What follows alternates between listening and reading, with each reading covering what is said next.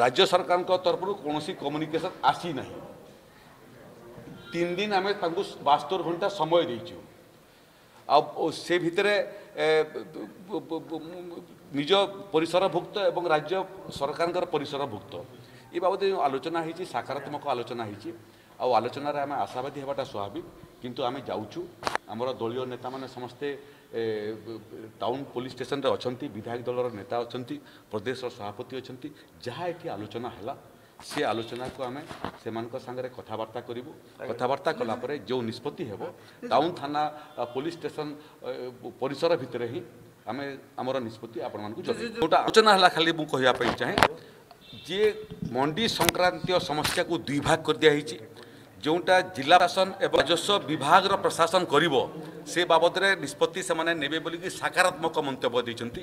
ଆଉ ଯେହେତୁ ରାଜ୍ୟ ନିଷ୍ପତ୍ତି ନେବ ପ୍ରକ୍ୟୁରମେଣ୍ଟ ବିଷୟକୁ ନେଇକରି ସେ ବାବଦରେ ଆର୍ ଡି ସି ନିଜେ ନିଜ ତରୁ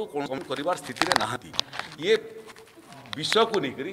ଯାହା ଆମର ଆଲୋଚନା ହେଲା ଦଳୀୟ ନେତାମାନଙ୍କ ସାଙ୍ଗେ ଟାଉନ୍ ପୋଲିସ ଷ୍ଟେସନରେ ଯେଉଁମାନେ ଅଟକ ହୋଇଛନ୍ତି ତାଙ୍କ ସାଙ୍ଗେ ଆଲୋଚନା ହେବ ଆଲୋଚନା ହେଲା ପରେ ଯେଉଁ ନିଷ୍ପତ୍ତି ହେବ ଆଗାମୀ ପଦକ୍ଷେପ ବାବଦରେ ତାହା ଆପଣମାନଙ୍କୁ ଉଚିତ କରିଦିଆଯିବ